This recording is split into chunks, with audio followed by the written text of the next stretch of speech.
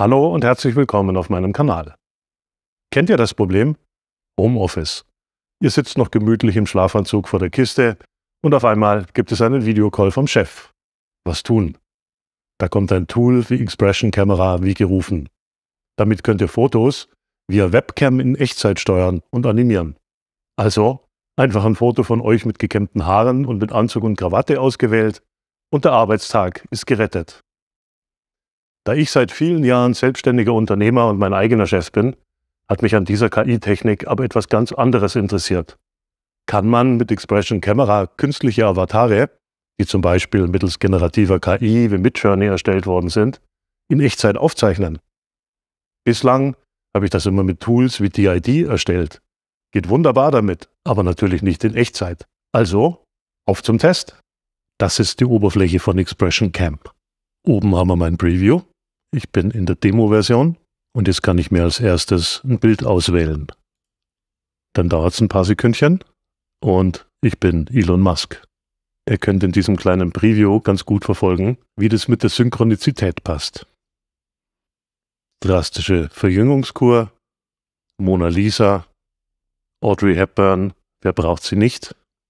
Und dann gibt es noch eine ganze Reihe von Fotos, die nur für die Pro-Version zur Verfügung stehen.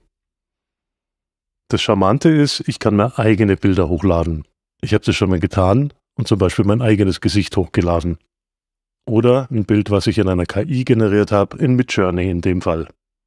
In der Demo kann ich bis zu sechs Fotos hochladen. Das machen wir mal. Mr. Barack Obama oder Angela Merkel. All diese Bilder habe ich in Midjourney Version 5 generieren lassen. Gehen wir mal wieder zurück auf den Herrn Obama. Hier oben findet man die Settings. Relativ rudimentär. Man kann seine Kamera auswählen und das war's.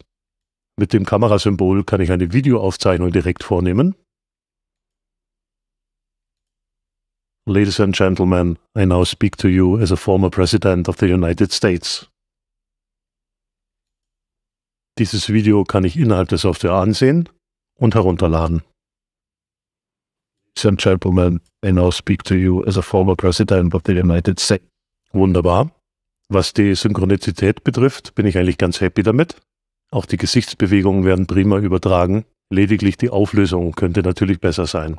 Es mag sein, dass das mit der Demo-Version zusammenhängt. Ich habe darüber leider noch nichts finden können auf der Website von Expression Camera. Weitere Features. Ich kann Hintergründe ändern. Wer wollte nicht schon immer so einen hübschen Fliesenteppich als Hintergrund haben? Oder einheitliche Farben, neulich im China-Restaurant und die üblichen Patterns, die man so kennt. Natürlich kann man auch hier seine eigenen Files hochladen. Und dann gibt es noch vorgefertigte Animationen.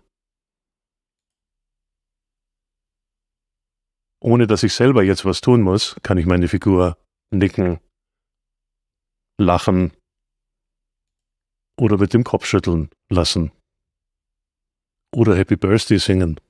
Dazu nehmen wir aber passenderweise Frau Merkel, ist eine Frauenstimme. Happy Birthday to you. Happy Birthday to you. Happy Birthday, Happy Birthday, Happy Birthday to you. Ist es nicht schön? Das ist dann eher ein Fall für einen Mann. Wir nehmen Keith Urban. May the force be with you. All diese Möglichkeiten bietet die Expression Camera in seiner App. Jetzt zeige ich euch, wie man das in der Videokonferenz einsetzen kann. Ich habe Zoom geöffnet und kann in den Videoparametern auf Expression Camera umschalten. Das erscheint dort wie eine USB-Webcam. Und somit kann ich mit dem ausgewählten Avatar an Videokonferenzen teilnehmen. Funktioniert überraschend gut und problemlos. Mein Fazit.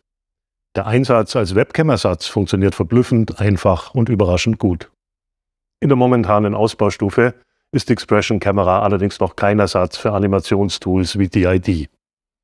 Zwar kann man problemlos und einfach direkt Videoaufnahmen erstellen, diese sind aber von der Auflösung her noch viel zu gering für die Verwendung in Videos. Außerdem ist der Output mit Wasserzeichen versehen.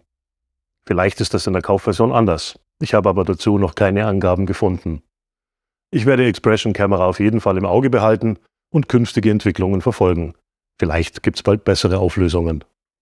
Danke fürs Zuschauen. Wenn es dir gefallen hat, freue ich mich über ein Like und ein Abo. Wenn du Lust auf mehr bekommen hast, schau gerne mal bei der Wolf Films Academy vorbei. Dort findest du den ultimativen Online-Kurs für Filmemacher. Von mir gibt es dort eine ganze Menge Material und zum Beispiel die brandneuen Kurse AI Filmmaking und Streaming Pro. Ich verlinke das Ganze in der Beschreibung. Bis bald, wir sehen uns.